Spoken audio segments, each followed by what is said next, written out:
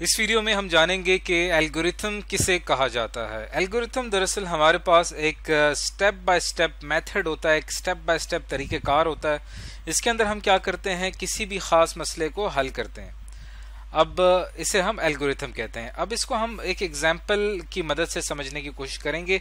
हमारी daily life में बहुत सारे प्रॉब्लम्स होते हैं, उनको हल करने के लिए हम उसका एल्गोरिथम लिखते हैं।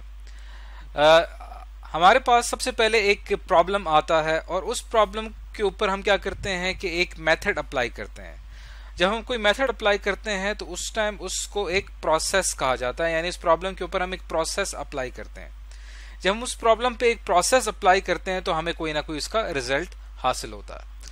लेकिन ये जो प्रोसेस हमें अप्लाई करने के लिए प्रोसेस अप्लाई करने के लिए हमारा जो रिज़ल्ट है वो हमारी रिक्वायरमेंट के मुताबिक आना चाहिए। लेकिन इस प्रोसेस को करने के लिए हमारे पास कोई स्टेप बाय स्टेप मेथड होना चाहिए और यही हमारा एल्गोरिथम कहलाता है।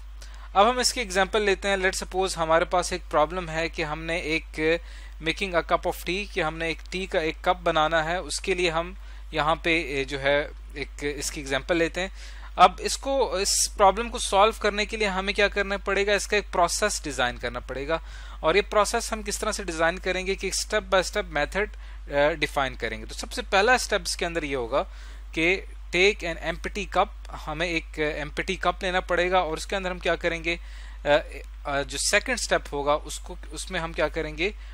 हॉट वाटर ऐड करेंगे।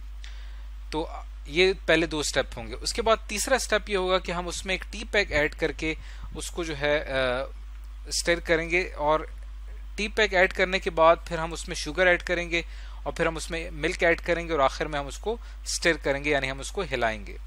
तो ये हमारे पास टोटल छह स्टेप्स हैं जिनको हम स्टेप बाय स्टेप फॉलो करते जाएँगे और हमारा जो रिज़ल्ट होगा वो क्या होगा?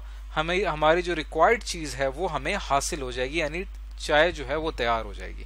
तो ये हमने एक एग्ज़ाम्पल ली है कि एक एल्गोरिथम दरअसल किस तरह से काम करता है। आप इसके अलावा और बहुत सारे एग्ज़ाम्पल ले सकते हैं। डेली लाइफ में आप जो भी काम कर रहे होते हैं, उस काम के पीछे एक एल्गोरिथम काम कर रहा होता है। अब हम ये देखेंगे कि एल्गोरिथम का जो है वो सॉफ्टवेयर डेवलपमेंट से या सॉफ्टवेयर बनाने से इसका क्या ताल्लुक है।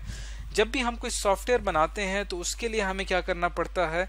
कंप्यूटर प्रोग्राम लिखना पड़ता है। और कंप्यूटर प्रोग्राम दरअसल हमारे पास क्या होता है? इंस्ट्रक्शंस की एक तरतीब होती है और वो उन इंस्ट्रक्शंस की तरतीब के पीछे एक एल्गोरिथम काम कर रहा होता है। यानी एल्गोरिथम का बहुत ही अहम किरदार है सॉफ्टवेयर डेवलपमेंट में सॉफ्टवेयर मेकिंग में। तो इसीलिए हम यहाँ पे एल्गोरिथम को स्टडी कर रहे हैं। आगे चल के हम ये पढ़ेंगे कि एल्गोरिथम को बनाने का क्या तरीका होगा how to write an algorithm इसको हम पढ़ेंगे अपनी अगली वीडियो में।